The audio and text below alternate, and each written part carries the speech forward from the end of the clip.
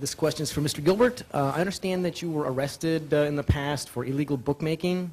So if issue three passes, can you tell me what crimes do you believe should preclude individuals from getting a gaming license? And specifically, is bookmaking one of those crimes?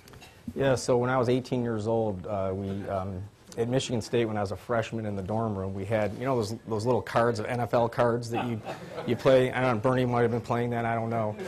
And, and somebody, you know, walked into some policeman on the corner who came in and they, they swept the dorms and they took out four or five or seven of them. I can't even remember the number. And they, then they dropped the case a, a few months later and no money was ever exchanged. So that's what happened to me at Michigan State.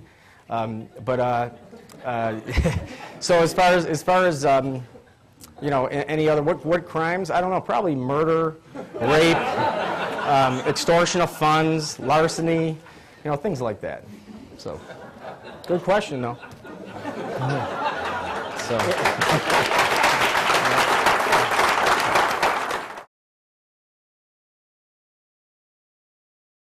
My name is John Fiedler, and I was a member of the Michigan Department of State Police for 25 years.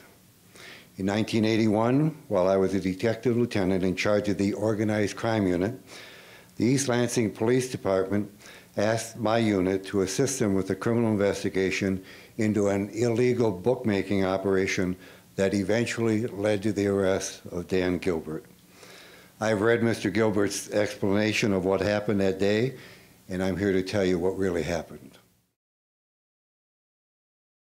He's, he's saying that, that a policeman walked in off the street and went to the dorm. Not true. No policeman walked in off the street and went to the dorm. We went to a private resident and, uh, uh, where he was involved. He's saying that, that uh, football cards are involved. We have the ledger showing the list of, uh, there's no football cards. We have a ledger there was never anything ever exchanged. No money was ever exchanged, not a single dollar, not a penny. It was stuff that was written down on paper on a wall or something. And uh, that's why it was dismissed, and that's why you know there's no record, and that's why uh, there's no issue. He's saying no money exchange hands. We have that ledger. I'm sorry, East Lansing Police had that ledger. Let me put that word had because I do not know where the evidence is today. Had that ledger showing that money changed hands. How can I how can I ignore it being a police officer?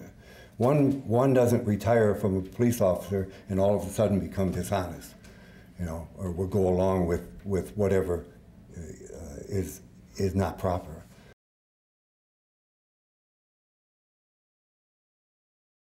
The victim had personally told me that Mr. Gilbert grabbed him and pushed him up against the wall, making threats that he had better pay up. Another police officer who worked on the case said one victim who did not pay had his car filled with manure and it contained a threatening letter threatening body, bodily harm.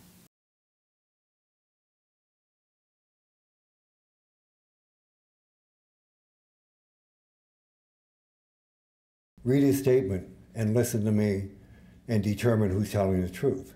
If you determine that I'm telling the truth, then he is not. If he is not telling the truth, do you want him in that position where he can run one of these operations where it's so easy to skim money, so easy to violate the law?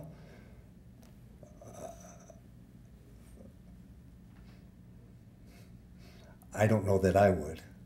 That's why, you know, there's a, there's an honesty factor here. And it goes back to your statement and my statement in response earlier. You know, uh, if you're lying to me, why should I trust you? And I know you're lying to me. Why should I trust you?